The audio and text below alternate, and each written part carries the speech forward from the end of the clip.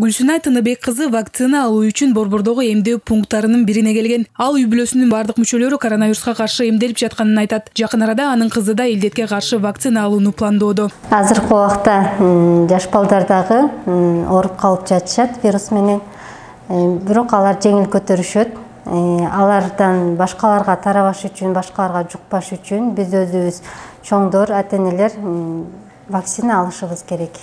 Мен вакцинага көз карашым жакшы республикалык жугуштуу клиникалык ооруканага өткөн жылы эле ковид он тогуз жуктурган эки жүз кырк төрт бала түшкөн. Ал эми быйыл эки айда жыйырма эки бала дарыланып чыкты. Адистердин айтымында чоң кишилерге салыштырмалуу балдар ооруну жеңил көтөрүшөт. Буга коштолгон оорулардын жана өнөкөт патологиялардын жоктугу өбөлгө түзөт. Ооруну жеңил алып жүргөнү менен балдар вирустун потенциалдуу алып жүрүүчүлөрү болушу мүмкүн. Ошондуктан вирус жок деп жайбаракат жүрүүгө болбойт. Ковидке каршы эмдөө алганыңыз өзүңүздү жана жакындарыңызды коргойт дейт дарыгерлер алардын баардыгы баягы үй бүлөдө бир атасы же энеси ооруп калган балдар болсо албетте жана мобилдик бригадалар тарабынан алар пцр тест тапшырышып ошонун негизинде эгерде э, баягы позитивдүү болуп калган учурларда бизге жаткырылып калышты.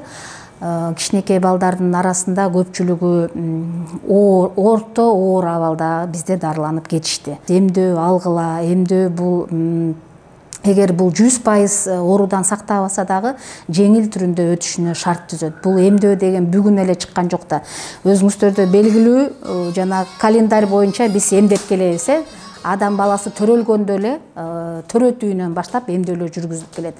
Ушунун баардыгын ушул э, дарыгерлер ушу атайын баардыгын фармакологдор ойлонуп таап мунун баары изилденген нерсе. Ошон үчүн эмдөө алыңыздар. Учурда эмдөө кампаниясына байланыштуу балдар он алты жаштан тарта эмделет. Ал эми бул куракка чейинки балдар ата энесинин уруксаты менен вакцина ала алышат. Кош бойлуу айымдар дагы эмдөөдөн өтүшү шарт. Анткени ковид түйүлдүккө терс таасирин тийгизип тубаса илдет менен төрөлүшүн шартташы мүмкүн азыркы учурда боюнда барларга да жасалат. жыйырма эки жумадан өтүп э, анан э, отуз беш жаштан кийинки э, энелерге дагы болочок энелерге да эмдөө жүргүзүлөт?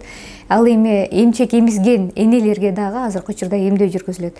Бул дагы бир жакшы шарт да себеби азыркы учурда негизи боюнда бар энелердин арасында да ковид оорусу жүрөт бул оор акыбалда жүрөт да. Мунун эң э, жаман жери бул курсактагы балага көп зыян тийгизип коюшу мүмкүн. Курсактагы бала тубаса э, пневмония оорусу менен төрөлүп калышы мүмкүн. Баланы жоготуп алыш мүмкүнчүлүк бар да коркунуч бар да. Ошол себептен э, айрыкча эмди балалуу болууну пландаштырып аткан энелер болсо жаш кыздар болсо тескерисинче эмдөө алганга аракет кылыш керек соңку күндөрү кыргызстанда коронавирус жуктуруп алгандардын саны салыштырмалуу азыраак катталууда. Ал эми пандемия башталгандан бери эки жүз миң сегиз жүз элүү жети адам илдетти жуктуруп алардын ичинен жүз токсон алты миң жүз кырк үч киши айыгып чыккан. Тилекке каршы оорудан ажал тапкандардын жалпы саны эки миң тогуз жүз сексен үчтү түздү. Мырзайым жолдошбекова адилет марсбеков бешинчи канал